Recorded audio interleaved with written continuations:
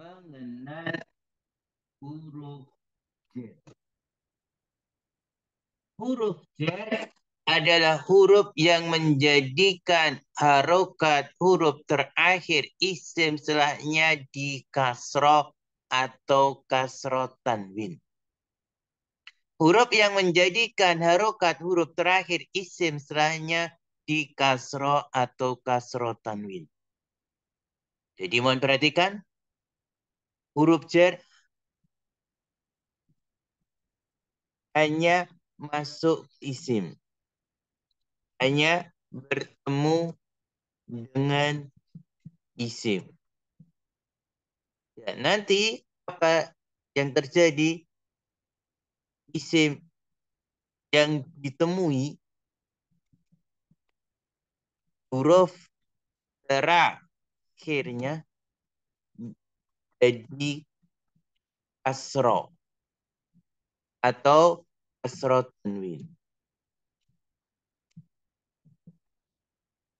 Huruf jar hanya bertemu dengan isim.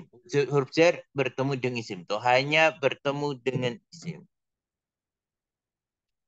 isim yang ditemui huruf terakhirnya jadi kasro atau kasro Ya, di antara huruf jar yaitu, ya, huruf jar ada banyak. Di sini disebutkan empat yang sering digunakan. Yaitu apa saja? Yaitu ala, yang artinya di atas. Ila, ke atau kepada. Min, dari fi, di atau di dalam. Kita lihat contoh penggunaannya. Fil masjidi. Alal maktabi. Ila suki. Minal masjidi. Harokat pada al-masjid, as-suk, al-maktab, masjid di kasrah huruf terakhirnya karena didoli huruf jer.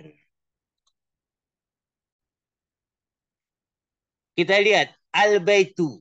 Asalnya al-baitu. Di zoma huruf terakhir.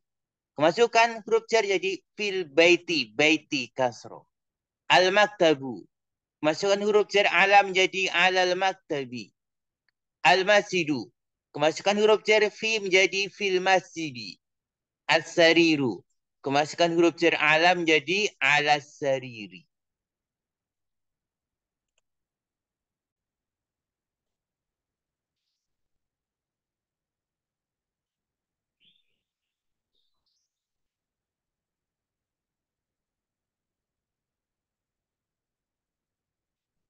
Bimbingan belajar bahasa Arab online.